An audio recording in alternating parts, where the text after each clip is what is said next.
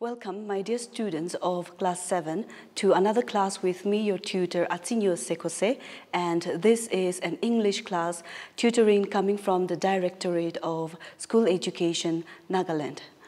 And today our topic is called Gopal and the Hilsa Fish. Now, this is a very short story and it is a very interesting story. You will find it on page 36, on page 36, and as you can see, this story is being told through pictures. As you can see, there are lots of pictures there and uh, very less words.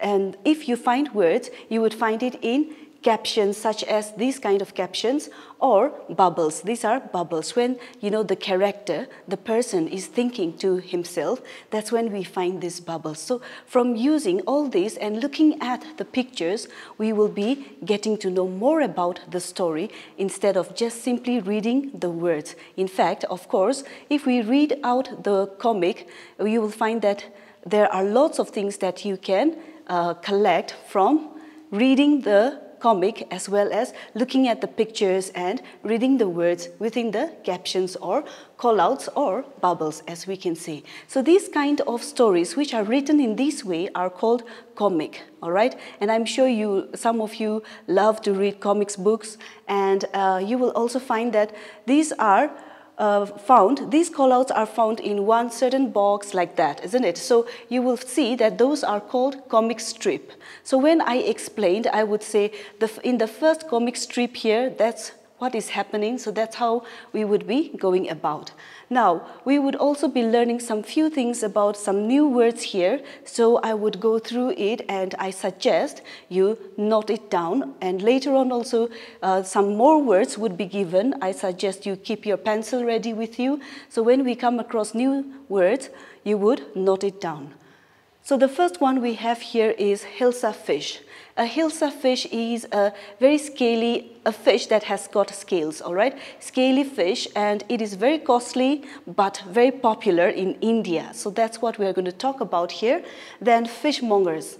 A fishmonger is a person who sells fish, or we can also say uh, shops that sells uh, fish for food. Now, the next point we have here is courtiers. A courtier is a person who attend to a king, all right? And if we say a single courtier, that means we can also say in some cases they are also the advisor to the king. So here, the next point, downcast eyes, which means looking down with shame or out of shame, all right? Uh, next point here, guilty, feeling sorry or regretful of what uh, a person might have done. Then number six, smearing, which means covering. In our text here, in our story here, we can also say applying certain things on the, uh, his face. Then seven, disgraceful, which means shameful. I'm sure all of you know that. Eight, comical, which means looking very funny, all right? Then number nine, mystic. Mystic here in our text or in our story, we can understand it as uh, a spiritual person. Then number 10, strangely, which means odd, looking out of place. So those are some new words here and we are going to find out our story here and I hope you would be looking down into your text and follow as I go. Now, uh, Gopal and the Hilsa fish. In our first comic strip there, we have here, it was the season for Hilsa fish. Fishermen could think of nothing but Hilsa fish. So it was the season of hilsa fish, and we can see in the picture some fishermen trying to catch hilsa fish.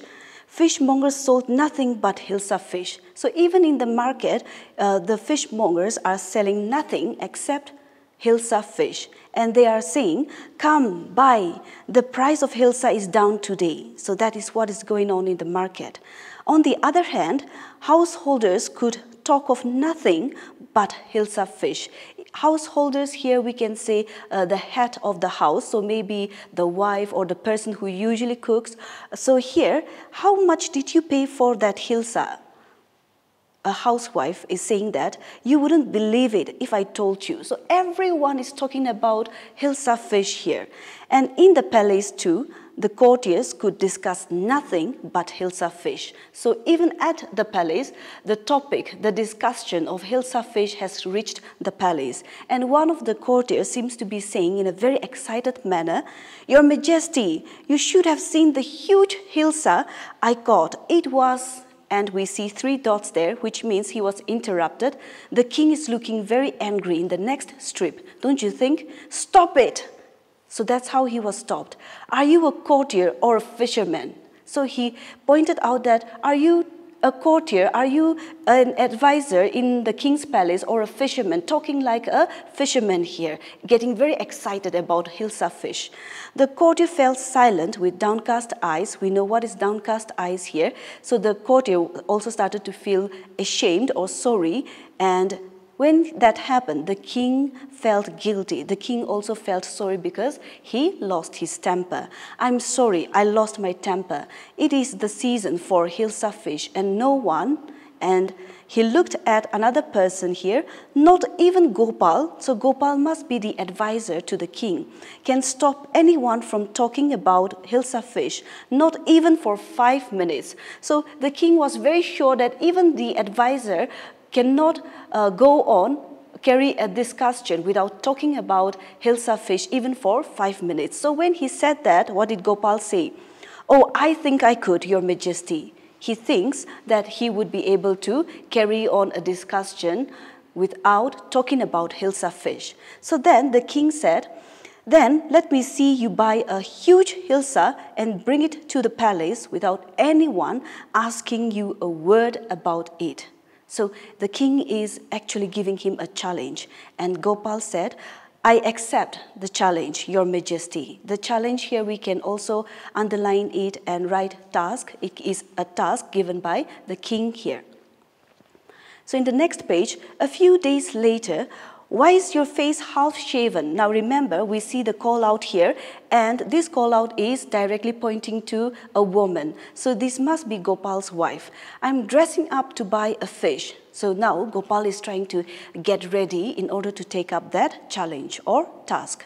I'm dressing up to buy a fish.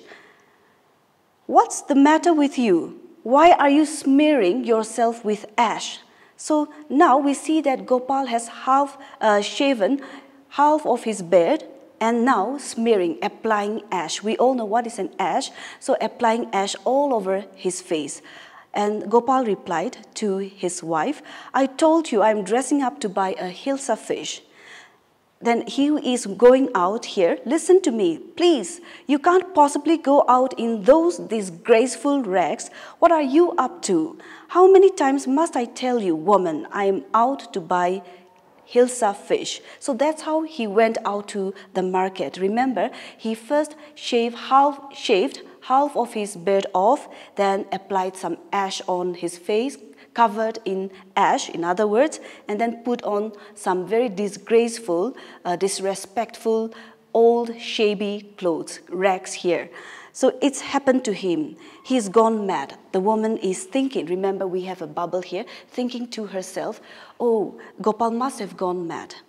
Gopal bought the hilsa fish and started walking towards the palace. Then we see that uh, people in the market, they are looking at him in a very surprised, shocked manner. And one of the children is pointing to Gopal and saying, Mother, look at that man, isn't he comical? So even the child is finding this fellow very funny, so comical, looking very funny. He must be a madman. Madman here is a crazy person. Some other people were saying he must have gone crazy. Hush, I think he's a mystic. Another one is thinking to himself or saying that uh, this person must be a mystic, a spiritual person. When Gopal reached the court, what do you want? Now the guard asked him, I want to see the king. So see, even the guard cannot recognize uh, the advisor, Gopal, because he's dressing up in that very strange way. You can't see the king, get away with you. Gopal began to dance and sing loudly. So he's trying to attract the attention of the king here. And he started to act in a very funny, weird manner. Inside the palace, as you can see, the picture of the king, trying to listen what is going on outside. The man is crazy. Throw him out at once. I want to see the king. Let me in. So those are the commotion that is, or the noises that were carried in into the palace. And the king was able to hear that. Bring that man to me at once. Yes, your majesty. So the king ordered to bring that fellow in. Gopal was brought before the king. So in that way, Gopal was able to enter the palace. And some of the courtiers seemed to be recognizing him, saying, It's Gopal. They looked surprised. The man has lost his mind. Remember, he is dressing in a very funny way. He is carrying a huge, a big fish in that manner. And another courtier said, I think it's one of his crazy jokes. So from here, we can also tell that maybe Gopal usually likes to play tricks or jokes in this way. Now, the king said, all right, Gopal, out with it. Out with it here means tell us what's going on. Why are you dressed up in this ridiculous fashion, in this funny, out of place manner, fashion? Your Majesty, you seem to have forgotten something. Remember, the king has given him a task, isn't it? And so the Gopal has reminded him. Forgotten something? The king is also trying to remember here. Strangely enough, no one seems to be interested in Hilsa fish today said Gopal. From the market to the palace and in the court, not a soul has spoken a word about Hilsa fish. Remember, as we were reading, nobody's talking about Hilsa fish except how funny he looked. Maybe he's a mystic. Some people were saying nobody noticed that he's carrying a huge Hilsa fish, right? So that's why Gopal pointed out that in a very odd way, nobody is talking about Hilsa fish today except how funny I looked.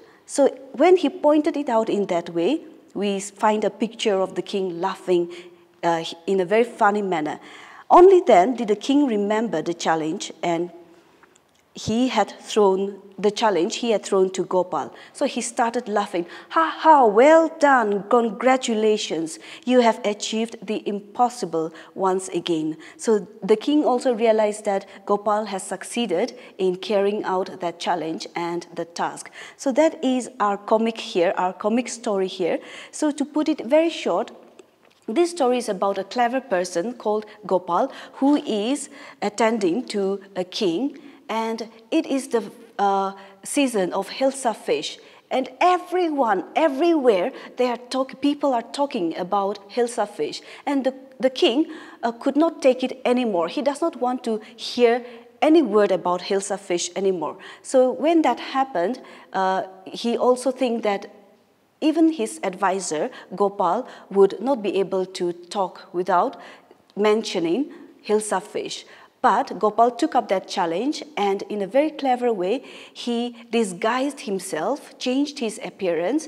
Remember three things that he had done, that is, shaved half of his beard off. And if someone is walking about in that way, we will all find that very noticeable and very surprised, isn't it? So he did that in a very clever way, then put on some ash, and then put on some very shabby clothes, looking like a beggar, and not a person who is from the court, all right? And so, in that way, when he disguised himself, changed his appearance in that way, nobody was able to recognize him, and nobody seemed to notice that he is buying or he has bought a huge Hilsa fish. Remember, everyone is interested in Hilsa fish, but now when he changed his appearance in that way, nobody noticed it. So in that way, he, in a very clever way, he changed his uh, look and he tricked everyone into thinking that he is a madman or a crazy person, but he was able to succeed in his, in his task or in his challenge. And because he has proven that, the king was also very happy. And so that's how our, our story ended. Now, we are going to take a look at some of our exercises here.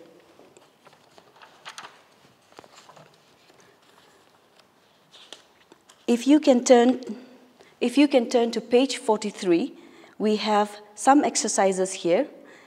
In fact, page 42, look, uh, working with language. So I'm going to read out the first question here. Notice how in a comic book there are no speech marks. You, I want you to underline that speech marks. And when we say speech marks, we mean these kind of inverted commas, all right, or double, in, this is a double inverted comma. We use this when we are uh, giving a direct speech, when without changing anything, we are using the exact word of a person, we use this double inverted comma. And I hope you notice that uh, the, the dots are towards the uh, at the bottom we can say and the second one is starting from the top. So that is how we write a double inverted comma. In some case we also use single inverted comma. So when we use this we are suggesting instead of these callouts we are saying that this is the direct speech of a person alright and so a direct speech is the same thing as is one part of a reported speech all right and in a reported speech we use uh, examples for example here told words such as told are said told said ordered asked etc. So these are some reported speech that we use in order to repeat what the person had said. So in our exercise here, you will find that uh, an example is given there. I'll read out the question. Change the following sentences in the story to reports, reported speech. The first one has been done for you.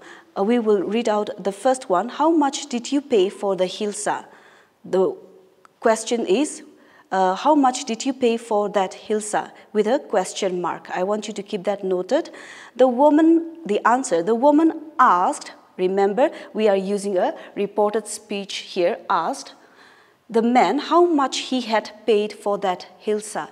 So we are changing the question into using a reported speech as well as into the past tense. So when we are repeating, it is changed into the past tense. So words such as had and the verb pay is being changed into paid. So that's how we convert it or changed it into reported speech. Now let's take a look at the next question here.